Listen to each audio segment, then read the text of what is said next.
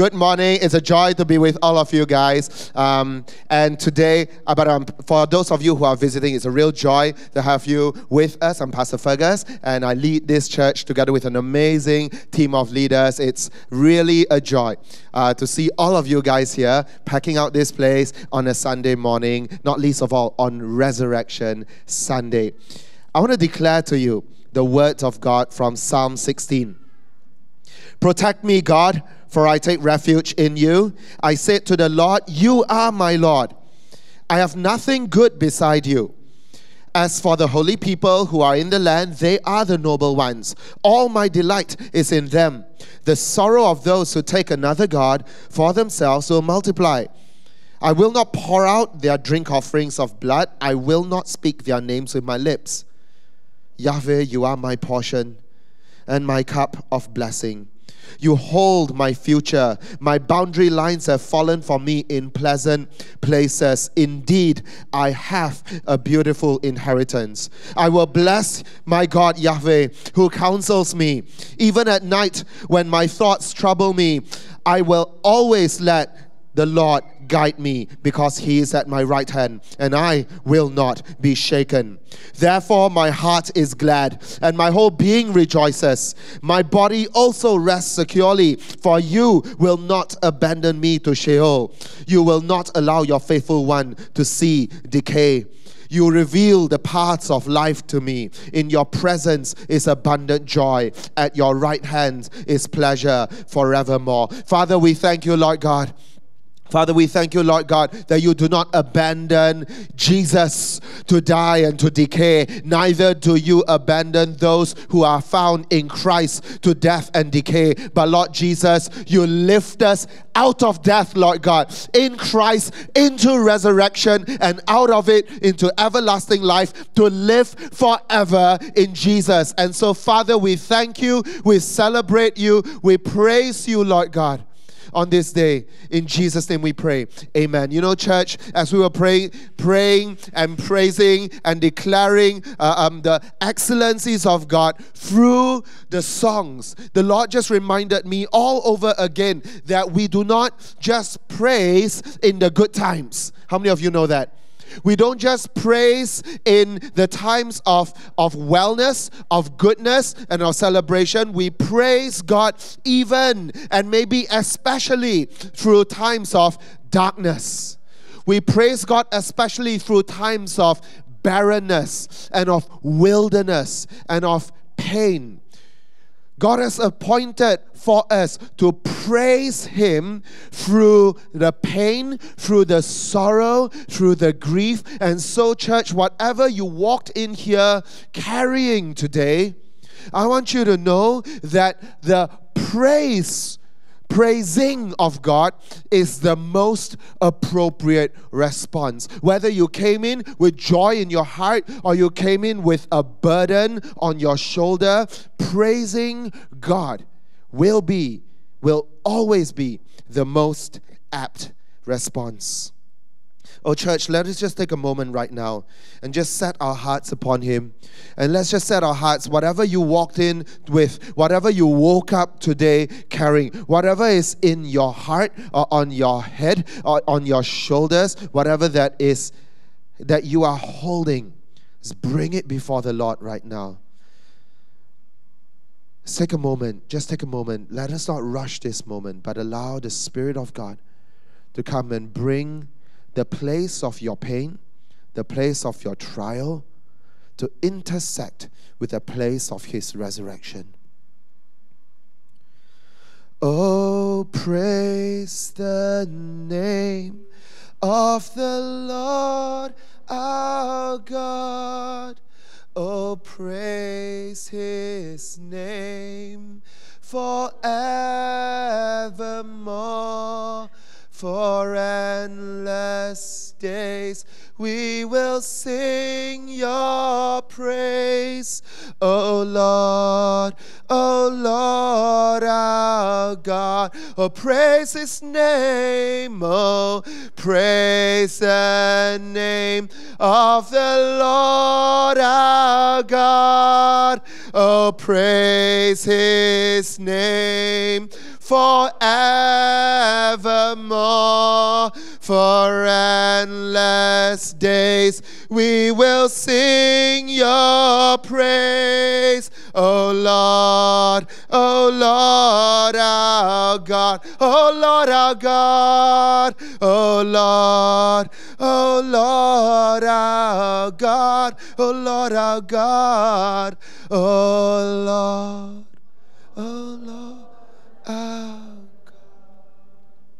Oh Father, we praise you, Lord. We praise you with every every fiber in our being. Let every breath that we have praise the Lord. And all of God's people say, Amen. Church, today is Resurrection Sunday. I have a personal preference for calling it Resurrection Sunday uh, rather than Easter because it reminds me um, of the resurrection. It extra reminds me, not that Easter doesn't remind me of his resurrection, but Resurrection Sunday extra reminds me. It reminds me that actually every Sunday, we gather to celebrate resurrection. You know, for the ancient Jews, of course, you know that they are observant of the Shabbat, the Sabbath, right? And how many of you know which uh, uh, uh, which day of the week is Shabbat? It's Saturday. In fact, the BM word is Sabtu, right? Sabtu is a derivative from the Arabic, right? Which is a derivative of the, all the common languages there of Shabbat, right? But do you know why we celebrate the rest day, the church day, um, the weekend, the full rest day on Sunday. It's because of resurrection. So every day, every week when we gather on a Sunday here, we gather in commemoration of resurrection. And that's why for the Christians in Acts, and after that, you see, after that, you know, through church history, the church started gathering no longer on a Shabbat, okay, where in the early days they would go and visit uh, the synagogues and share God's word there. But as the church became established, they decided to gather on the day of Jesus' resurrection. You know, I was just declaring to you just now Psalm 16, and it ends very beautifully. It says this, I'll say it again. Therefore, my heart is glad, my whole being rejoices. Church, I know on a Sunday we come in and we don't always, we aren't always able to bring our whole being to rejoice. Some days our mouths are singing and our heads are somewhere else. Sometimes our heads are in the words of the song, but our hearts are somewhere else. But Lord, but the Lord has given us this word, this picture, a vision of what praise looks like. My whole being rejoices. My body rests secure. Do you see, church, the integration between what your your your heart is worshiping and the security in your body, and you will not abandon me to death. The psalm says, You will not abandon me to Sheol, that is the place of death, and you will not let me see decay. But what do you do?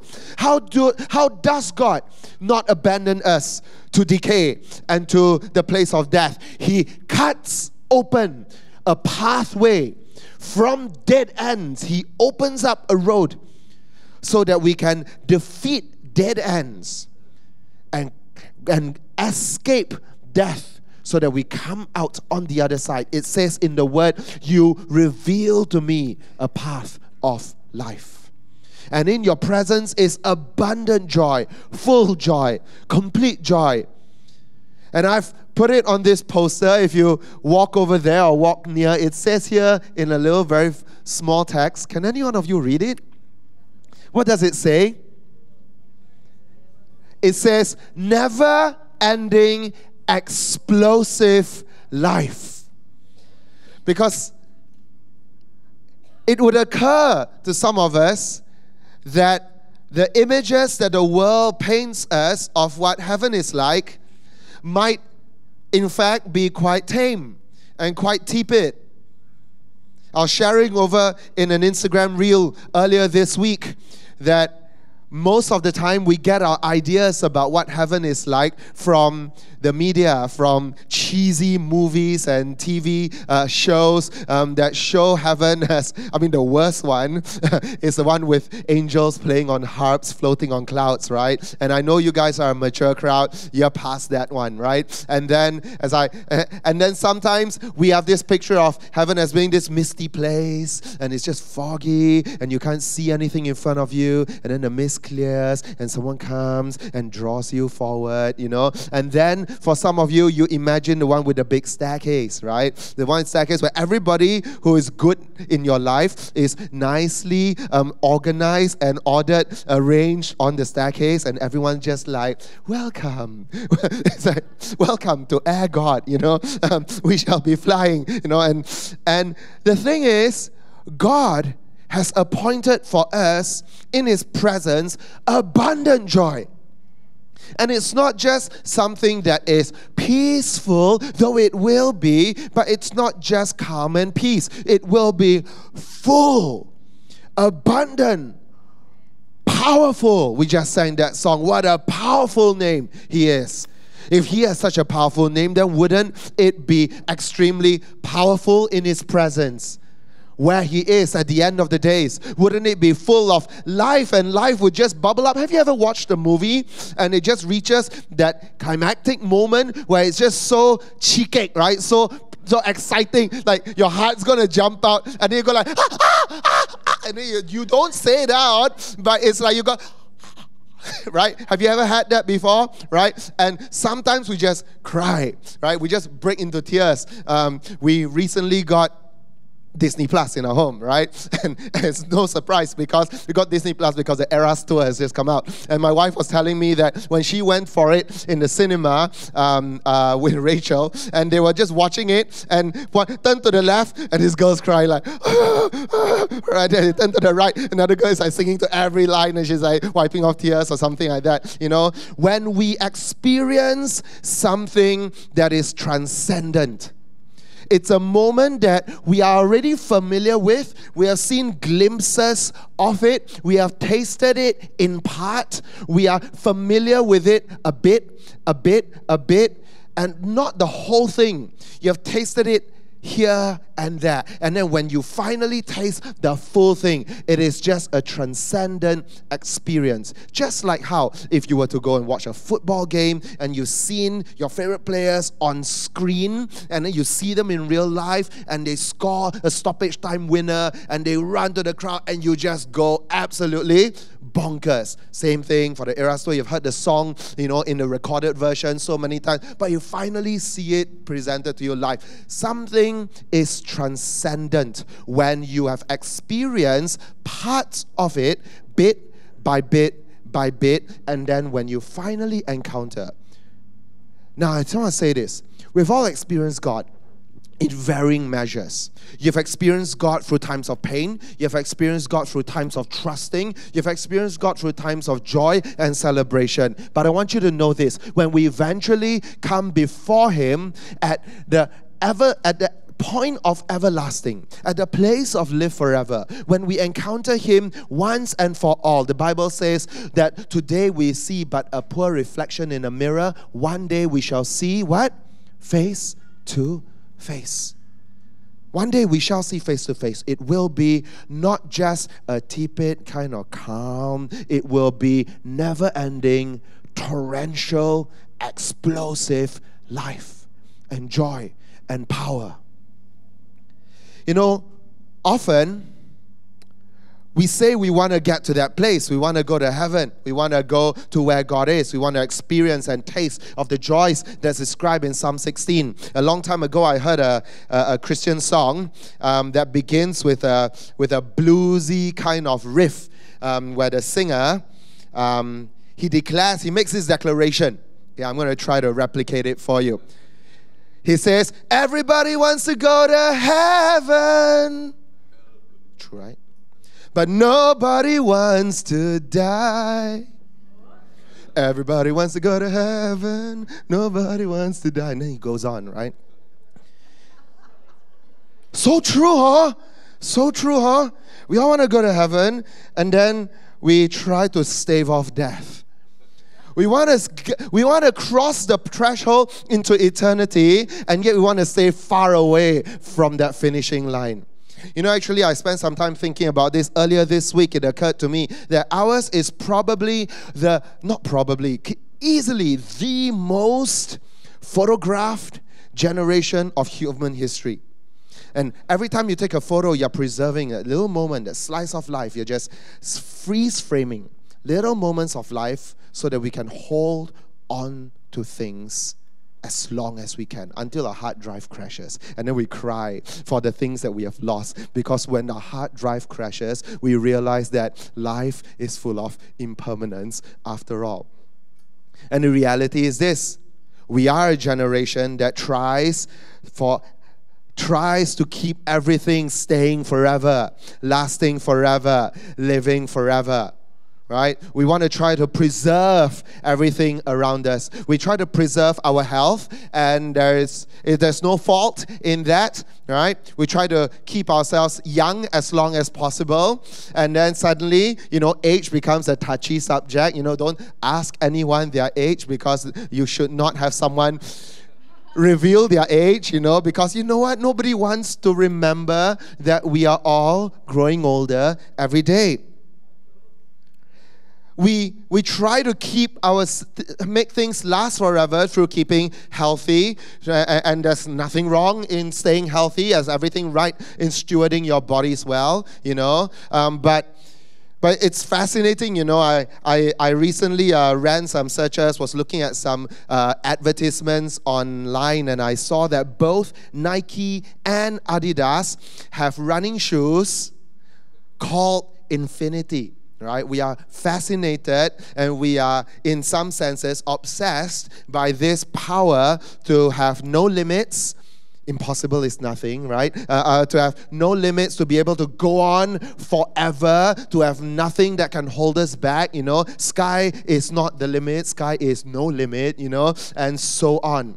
We want our bodies, you want our achievements to last forever, stay forever. For those of you who are entrepreneurs, your dream probably is to is to raise up a unicorn company so that the impact of that company is not money, uh, by the way, right? Because if you're if you're like a tech entrepreneur, you're not thinking about the money, you're thinking about the impact on the social uh, uh, life, on, on the way the world lives, right? It's your greatest joy if you can invent something, build a company that transforms the way the whole world works so that your achievements too will last forever. And even when other technologies supplant it, your name is written into the book of earthly technological advancement, right? And that becomes part of your legacy. But you know, let's not go so lofty into that. In our home, I do the laundry, right? And if you do the laundry, how many of you do the laundry in your house? Can you just give me a little wave? I feel the solidarity uh, with all of you, right? Gosh, how do I wish that my laundry can stay forever? The most satisfying feeling is when you have like hung everything back into the children's cupboards, you know, everything that needs to be folded is folded, is in the drawers, everything that needs to be hung up is hung up, everything is fine. You look at the laundry basket, it's empty like the tomb on Sunday, right? And you go like, yes, my life has resurrected. I have joys forevermore, right? But it doesn't stay forever. Their laundry just like half a day, half a day. The evening when your kids come home and uh, they got mud on their pants, you know, and there are stains all over the clothes, and it goes in. It's like, okay, okay, we go again. Just do it. We go again, right? And so it's not just about the achievements in the world, it's not just about the laborious things, the Sisyphean things that we have in our day-to-day life. It is also it also extends into the human relationships that we cultivate and foster and hold on to, you know, because there is not a single one of you who wants to part with your loved ones. Not a single one of us do. We want to hold on to those relationships and in some senses we want to hold on as long as possible, not not just to the relationship. We want to hold on to the relationship as it is at the most pleasurable season or time. one of my one of the songs I've been listening to a lot uh, uh, recently is a song written by is this indie uh, uh, uh, girl singer, and she sings from the voice of a mom uh, who's looking at her little daughter growing up, and she says, "Why can't you stop time? You know, how long before I can't call you mine? Right, sweet little girl, help me stop time." and then she playfully says, You're not allowed to be 19. You have to stay my precious baby, right? And it, it represents uh, maybe the heart of every young parent to see your little child growing up. It's like, Oh my gosh, my little boy, you wonder your voice is going to break. No, don't, don't, right? Oh, Only be a sweet little boy, right? We want things to stay forever, last forever, and live forever. Everybody wants to go to heaven. Nobody wants to die, right? But here's the thing what if God wanted things to change? In fact, what if God always wants things to change? And when He changes the things around us, it makes us feel as though, like, I don't want that, I didn't want that to change. I wanted you to keep it that way forever. Why didn't you keep it that way forever? And Jesus says, My thoughts are not your thoughts, my ways are not your ways. For as high for as heaven is higher than the earth, so my ways are higher than your ways, and my thoughts are higher than your thoughts. And so, in our way of thinking, at our at our elevation, which isn't very much to shout about, of thinking, we say, God, please keep things the way they are. Let my baby girl stay five and cute, you know, like I don't want 15, I want five, you know. Um, let, let my marriage stay in this kind of idyllic kind of moment. Let my business stay as it is. Let all these things be. But God says, My thoughts are not your thoughts. I'm going to disrupt things. And change is always disruptive. Even the day to day passage of growing older, one day at a time, is disruptive. And God is, in some strange way, always bringing those disruptions into our midst. He has a better plan. And so, maybe nothing lasts forever. Maybe nothing, at least on this side of earth, lasts forever, though we try our best to cling on to, to things, but the, the great achievements we heap up in our workplaces may, will not last forever the great things that we can build for the world will get supplanted by another. And last year we went through the book of Ecclesiastes. For those of you who call this church home, you've gone through it together. What you build one thing, it gets supplanted by something else. And you build one thing, someone else comes and potentially tears it down. Nothing lasts forever. Even cold November rain. I don't know how many of you get that. You know, even our families won't last forever. Even the loving relationships we have with one another, sometimes they decay before we die, and that's not fun. Sometimes we see them go into cycles of pain and of estrangement and of separation and of distance. Sometimes we are physically together, but our hearts have checked out from each other. Sometimes we lose each other to disease, sickness, to death. Sometimes we lose each other to others. You see, why would God cause all these fleeting good moments just as we can touch them, to just keep slipping out of our grip, that it just keeps running away from us. So that at the end of our days, we can say that all of these things is like pursuing after smoke. We're just clinging on in futility to colored smoke. You know, it looks so real. It's like fluffy pink clouds, and you can almost touch it. And as soon as you plunge your hand into it, you realize it's all vapor. It was there, but it was never really there. You see, my church, new things come from old things coming to an end. New things come from old things coming to an end. When God wants to do a new thing, He sunsets the older thing. When God wants to bring about something new, He has to put to death that which was old. When He wants to create you, recreate you into a new creation, He has to put to death the deeds of the flesh of old. When he wants to do a new thing with a nation, he has to put into the grave the nation's prior self and flesh born DNA so that he can put his DNA into a new people and make them into a new people. That's why he says in was it first Peter or second Peter that you are a holy people, a new creation, right? You are not like who you used to be. I've created you into a new kind of entity. You are salt, you are light. I'm giving I'm giving you definition of who you are now a holy people set apart for his excellencies. When God saves you, when God loves you, when God takes you, He recreates you. And in that process, something old has to go. Just last Saturday, we were gathered here, and Denise was leading us into praying through Romans 12, verses 1 and 2. And Romans 12, verse 1 says, Let your put your bodies to be like a spiritual sacrifice, right? Sacrifice your bodies to be like a living sacrifice, holy, acceptable to God. Something gets placed at the altar and it dies. And then Romans 12, verse 2, the very next verse says this Do not be conformed to the ways, to the patterns of this world. Be transformed by the renewal, the renewal of your mind. Something new is being birthed.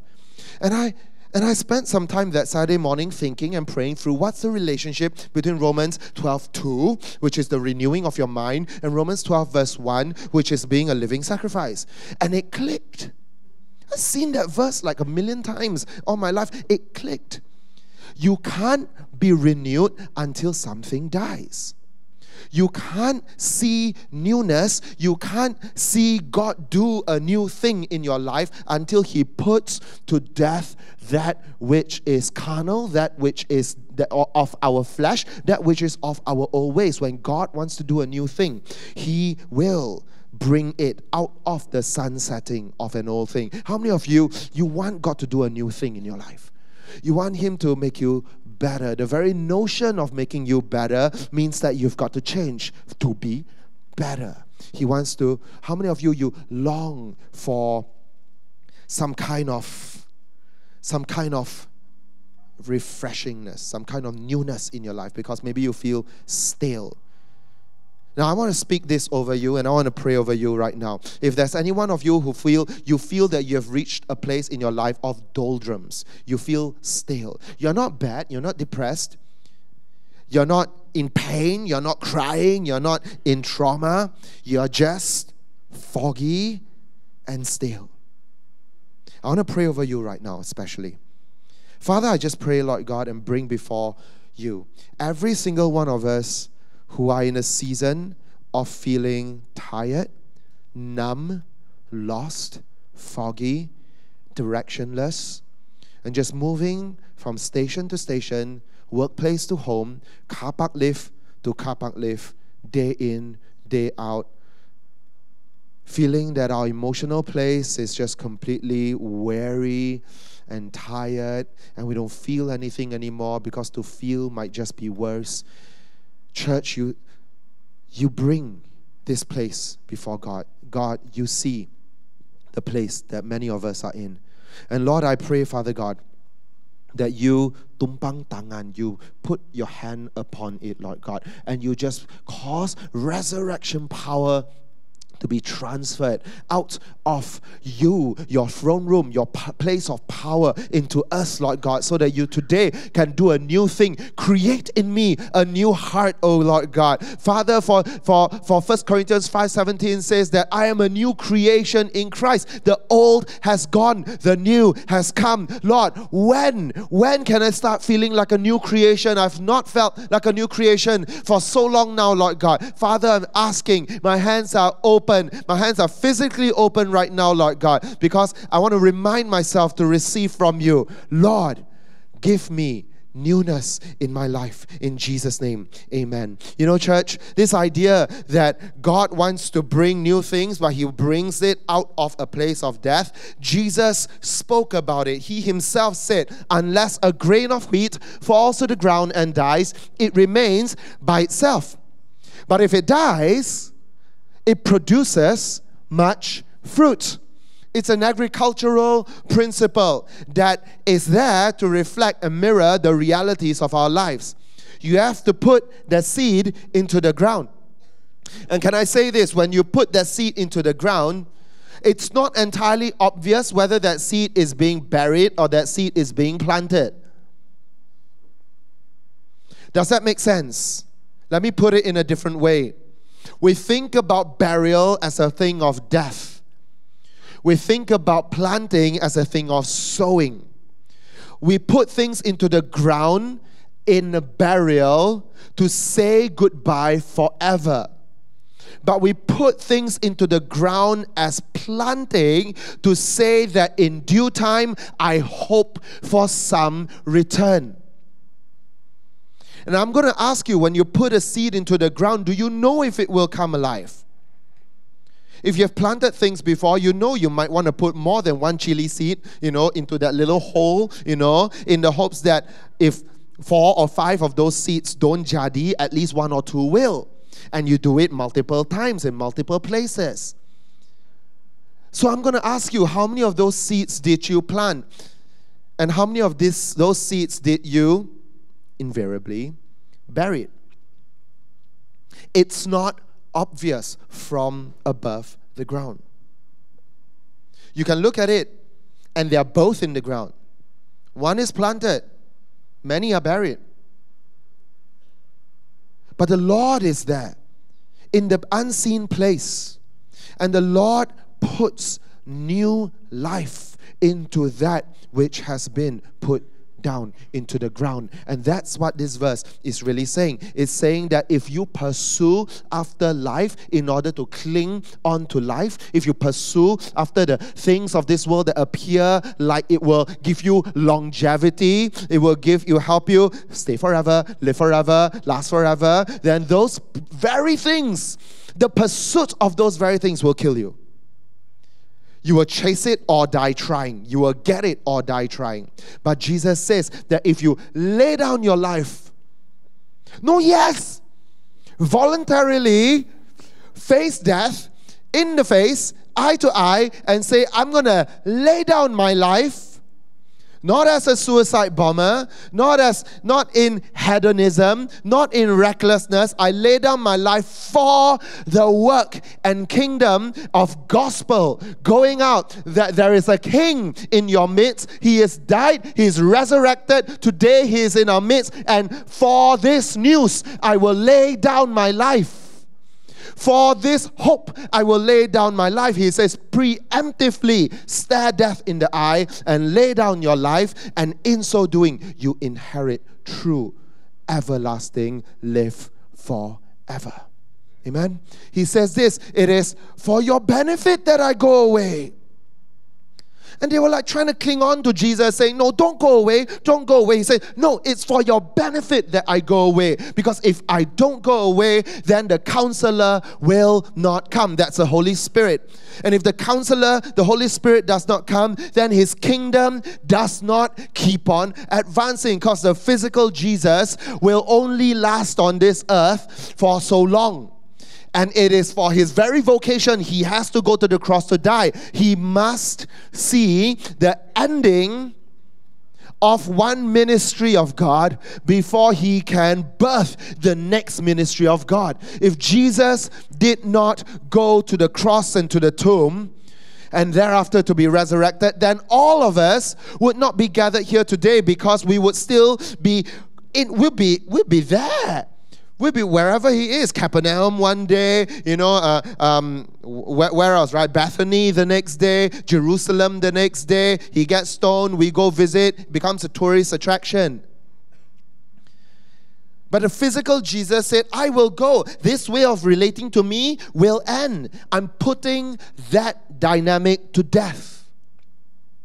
So that I can give birth to a new dynamic. What is that new dynamic? On Pentecost, the Holy Spirit came. It broke into that upper room, and tongues of fire fell on top of everybody, so that today you and I, we collectively gathered on a Sunday, but outside on a Monday to Saturday, are the intersecting place between heaven and earth. So that when we pray on earth as it is in heaven, let your kingdom come. Let your will be done on where? Earth, as where? As is in heaven. So that there becomes a tempat bertindih, the intersecting point between what happens here and what happens there. What happens there is reflected here. How can that happen if you're all clinging on to one Jesus somewhere in Jerusalem? It would not have happened but He has put the Holy Spirit in you so that you are the temple. You are a walking, moving, breathing, talking temple. And sometimes we become cussing temples. And sometimes we become irreverent temples. And sometimes we become unjust temples. And God reminds us clean the temple, clean the temple, flip the tables, take out all the junk, re, re, re, re recondition your heart. Come back to me. Cleanse your heart. Make room for me. Make your hearts a place, places that are habitable, hospitable to me, that I will enjoy being in this temple, says the Lord. You and I moving, walking. You don't need to go to the temple in Jerusalem. If you go, it's for historical and tourist reasons. It can be a devotional experience. So, church, this the entire premise, the entire premise of, I'm gonna, I'm just lost this. Yeah, okay, let me, this thing just went off. So, okay, yes. The entire premise of God's work, pushing into Easter Sunday, is that He had to suffer. He had to suffer, and I've shown it to you there in the picture of the crown of thorns. And that marked the end of one, t- one season of Jesus' ministry. In that, it marked the end of a season where he could move about freely. He could go about, he could visit houses, he could go here, he could go there, he could minister even to crowds. And once the noose tightened on him, it was locked down. He got arrested, the crown of thorns was put on him. He was mocked, he was beaten, and he was led like a lamb to the slaughter, says the people who pray through the gospel, the, the, the book of Romans, right? Paul says he was led like a lamb to the slaughter. And this time, this little window of even being unshackled, though he started to be tortured, would end. And a new, even more vicious one would begin. He would go on to the cross. He would carry the beam, heavy as it would be, until he could physically no longer hoist it up. And then one man would come, Simon of Cyrene would come and lift it and walk it for him. He would be, his wrists would be smashed into those planks. He would be hoisted up in shame, his whole body brutalized. And I was just thinking just now when we were singing, Oh, praise the name his body bound and drenched in tears, they laid him down in Joseph's tomb. And I thought about the disciples. Joseph of Arimathea, the Marys, they had come and they embalmed him as hastily as they could before sundown and Shabbat begins. And they did that, and I and I imagine I, I suddenly saw myself there, seeing the, the body of my Lord mangled in this way. And you're wrapping and you're embalming and you're hastily re- making him ready for the tomb. And once your Lord may be handsome, I don't know, but certainly looking normal, now completely wrecked. His body bound and drenched in tears. They laid him down in Joseph's tomb, the entrance sealed by heavy stone, Messiah still and all alone. You know, he was lonely in life because Isaiah says, right, he was a man of sorrows. He was a man of sorrows. And there he lay in that tomb alone. God was putting to death one thing so that he could bring to life the next. And on the third, at break of dawn, he comes out, right? And the angels were there, shining light. The disciples run. You know, Mary and, and, and the other women, they go. You know why they go that morning? You know why they go so early? It is to re embalm him.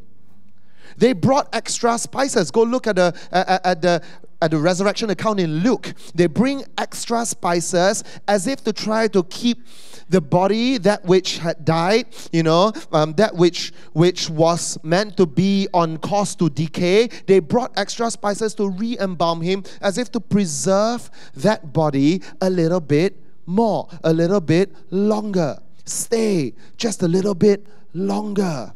And they arrived, and the two angels, shining light, said, Why do you look for the living among the dead? He is risen. He is not here. He is alive. And so they thought they could go and extend the, the, the, longevity of that physical body for just a few more days or maybe a few more weeks. But God had already risen. He had already defeated the very things that would bring his body to decay. That's why Psalm 16, way ahead of its time, way centuries ahead of its time, declares this that you will not abandon me to Sheol. You will not allow your faithful one to see decay. You reveal to me the path of life. And in Christ today, you too shall have the, the path of life revealed to you. And in this way, we shall indeed one day live forever. Jesus says, I am the resurrection and the life. Everyone who lives and believes, there is a living and there is a believing. Everyone who lives and believes in me. So you got to live in Christ, you got to believe in Christ. Why is it being so hard? Actually, if you reject him, that's what it means lah, to not live in him and not to, not to believe in him, lah, right? Anyone who lives in me and believes in me will never die. Do you believe this? Do you really believe this?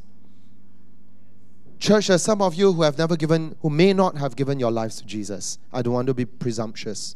Or some of you, you may be culturally, you just walk in, walk out, walk in, walk out. Christmas, Easter, you hear some pastor preach, you know, maybe with a lot of energy, you know, and and okay, you walk out. Do you believe in this? That if you live in Christ, you will never die? Though you die in this life, but you you you die and then you exit from this life into eternal life to live forever. I just want you to take a moment to just allow this reality to rest in our hearts. That God has appointed for you an everlasting life, a good life, full of power, goodness, mercy. But the access to that life is this. There's no other way. He says, I am the way. I am the way, the truth, and the life. And if you want to come to my Father, you have to come through me. And that makes sense. It's not trying to be particularly difficult. If, you, if I want to go to your father, I probably have to go through you as well. If I want to go to anyone's father, I have to go through you, or mother for that matter, right? Don't always have immediate, direct access to your parents. And Jesus says, you want to come to my father, you have to come through me. Will you reject the son in hopes of being still being able to reach the father? You know, to live forever. I began today's word by kind of like parodying a little bit the images of heaven that our popular culture gives us. And the whole, the whole crux, by the way, hinges on this. Is there a vision of heaven that's compelling enough for you to actually want it? Jesus says, Jesus says in John chapter 14, that same chapter that I just quoted from, he says that in my Father's house are many rooms, many mansions. It's like each room is just resplendent, it's beautiful. If it were not so, I wouldn't have I wouldn't be telling you this. And then I'm gonna come. I'm gonna go. See, he has to go because he's to birth something new. He's to go and then he's to come later and he's to bring you. Bring you to what? Do you know what the text says when he says, I'm to go and I'm to come back and bring you to? You know what he says? Without looking at your Bibles, how many of you know what he says?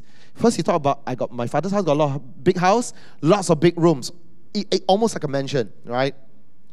And then he says, I'm going to go and I'm going to come and bring you to the the mansion.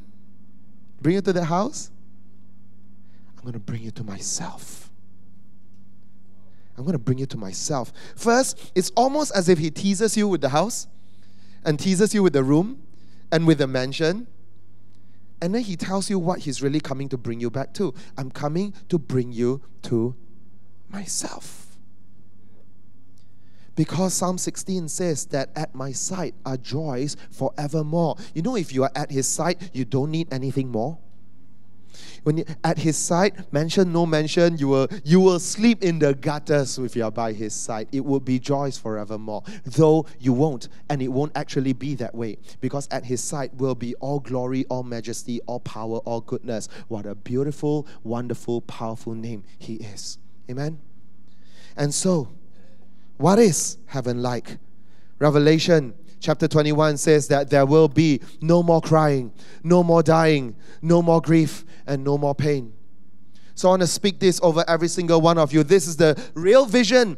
Forget about the harps, forget about the clouds, forget about the mist and the staircase, okay? Let's just put all that aside in a bin called Hollywood's imagination. I want to show you the vision of God. No more crying, no more pain. It's tackling not just the superficial things around us, it's tackling the real existential problems that we face. Is there pain? Are you hurting? No more, no more tears, no more crying, no more dying. He says, Your mourning will end. I will wipe away every tear from your eye. And in its place, I bring a river of living water. The water of life will flow. There'll be trees on either side of this river running right through the city.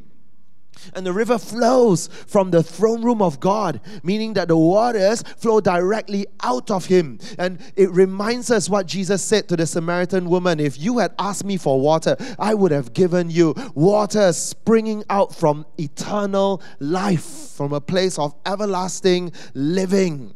And we see that in Revelation 21, the waters come 22, the waters come out from the throne room of God, the source of all life. And the trees, their leaves will be for the healing of the nations. We see the nations at war. We see the nations in, in, in absolute chaos outside our doorstep. The leaves will be for the healing of the nations. There will be no more night no more sun. Why? Because God Himself shall be their light. In other words, there will be no more fear of things turning and turning and changing. You, I'm actually describing to you from the book of Revelation a place where that constant change that I was talking to you about appears to no longer be that way. So on this earth, we go through lots of change, and I showed it to you at the start. But when we get there, there shall be no more cycles of moon and sun and moon and sun. God, Jesus, the Son, will be their light. There shall be no more temple, so that your religious acts does not require you to go somewhere.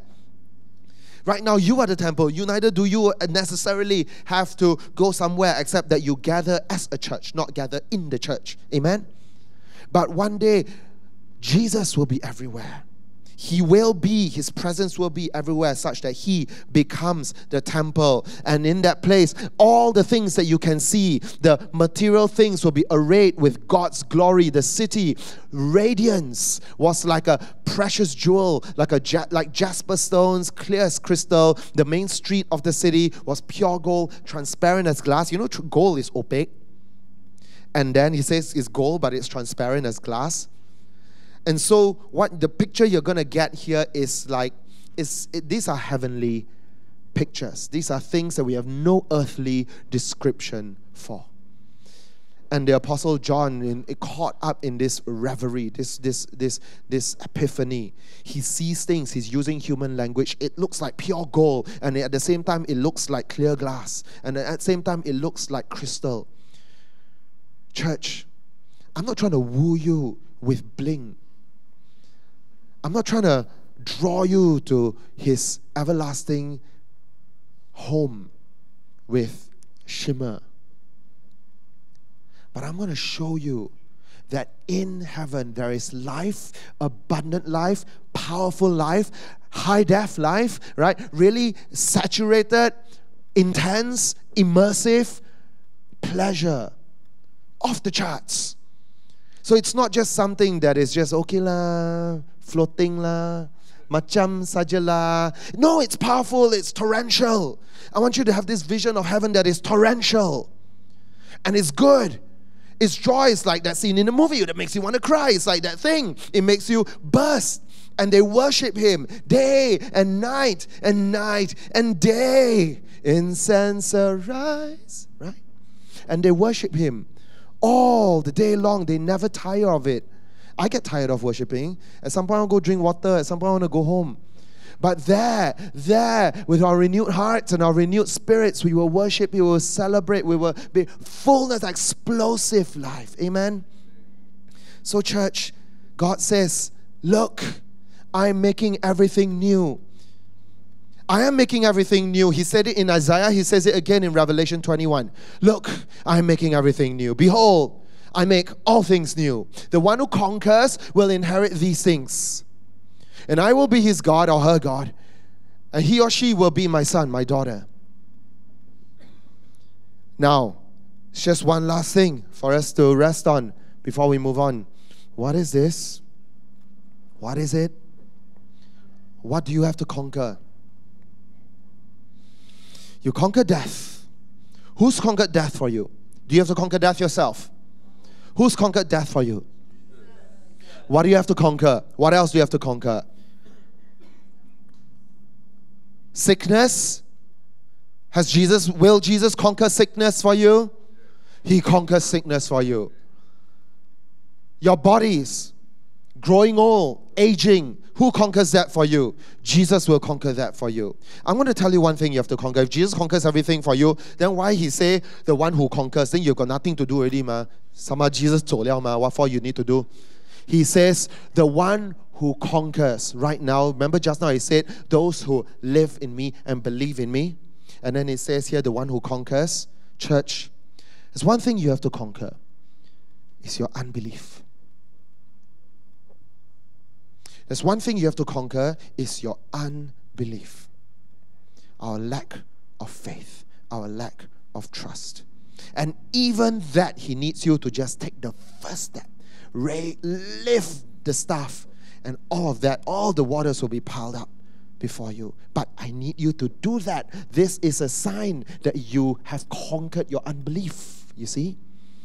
You just need you to step into the river Jordan. Wet your feet. I don't care. That's a sign that you believe. And I'll pile the waters up away from you. Today, God is calling for you. Lift that staff, step into the water. I want to see your heart grow in belief to conquer that unbelief. That's what the Lord says. The one who conquers will inherit these things. All eyes closed, all heads bowed.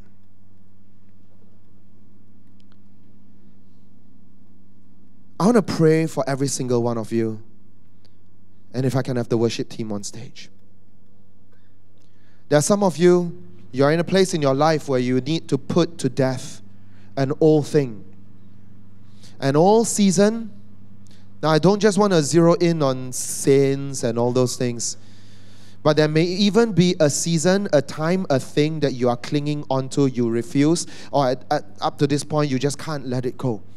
And the Lord says, Look, I am doing a new thing. The old must go so that the new can come. And I know that it's hard to find the courage, it's hard to find the bottle in order to let it go. The Lord says, I am with you. You can let it go. It's okay. The Lord says, Today, I'm putting to death the old thing so that I can bring new life into you. Father, pray after me if you're in this place. Father, we pray and I ask that you help me put to death this old season, to see it end, to sunset this thing in my life so that you can give me a new dawn, so that you can bring about newness in my life, Lord God. Father, I surrender. Right now, I think I only have enough gumption to surrender half of it, but I can't give it all up. Lord, help me Lord, I believe. Help me with my unbelief. Lord, help me let go of the full, whole thing. Oh Lord Jesus, right now, I'm just going to abandon it to you. You take over the whole thing, Lord. I can't anymore. And so you do with it as you will, Lord God. I surrender. The old season, I give to you. And I'm going to trust you to give me a new season in my life. I pray this for every single one of you who are putting to death the old season so that God can bring to life the new one. Some of you, you're struggling with grief, struggling with loss.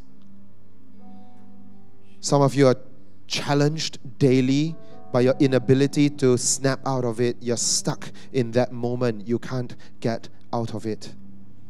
And you're going in a loop, in a cycle. You feel paralyzed. And for all intents and purposes, you may have been paralyzed for years now. You've not really made gains ever since you lost that someone that something. You've had a dream or a loved one put to death. Today I speak newness over you. And I want you to pray this with me. Father, in the name of Jesus Christ, help me truly bury this thing so that I can live again, Lord God. Father, help, Lord God, this burial become a planting, Lord God, so that out of its death can come newness of life, Lord God. Father, I pray, Lord God, that you do this work to cut me off from the entanglements of all so that you can lift me up, Lord God, and bring me into a new place and lift me out of darkness. Help my wheels turn again, Lord God. Help my heart live again, Lord God. Help my life be joyful again, Lord God. Give me a new purpose. Open up a new vision for me, Lord God, so that I can come out of this deadness into a living forever kind of life, Lord God. Oh, help me by the power of this name of Jesus. And I want to pray for those of you who have never given your life to Jesus. If that is you, I want you to repeat this after me. And when I say you've never given your life to Jesus, I also want to include this. You've never seriously taken Jesus. You've never taken Jesus as one whom you would say, you know what, I'm going to take him seriously from now on. If he really is God of the whole world, created me, and I'm chasing all these other things and I'm ignoring him, I'm trying to stave off aging, I'm trying to stave off defeat, I'm trying to stave off death and pretend it doesn't exist. I think I'm infinite, but only He is infinite. I want to give my life to Jesus and take Him seriously once and for all. Pray with me. Jesus, come into my life. Give me a vision of forever. I receive you as my Lord, as my Savior, as my King, and as my God. And I don't know where this will take me but I'm going to trust you. You lead me where you lead me, and I will be a good follower. I will walk as best as I know how. And when I stumble, pick me up and help me walk all over again. But let me never stop following you. And all of God's people say, Amen. Shall we rise to our feet and praise His name? Oh, praise His name, church. Come on, let's just lift up our voices on this day. Oh,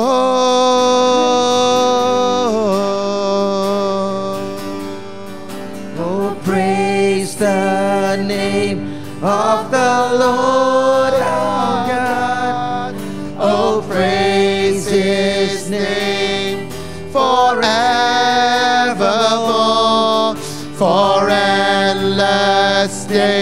we will sing your praise, O Lord,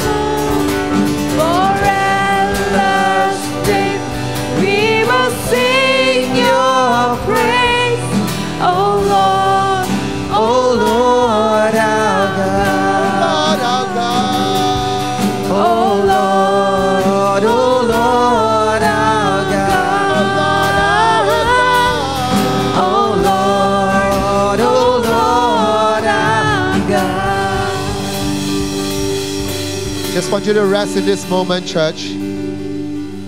Just want you to rest in this moment. I believe the Holy Spirit draws you into a decision.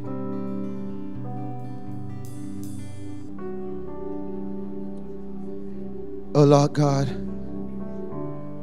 we thank you that on this Resurrection Sunday,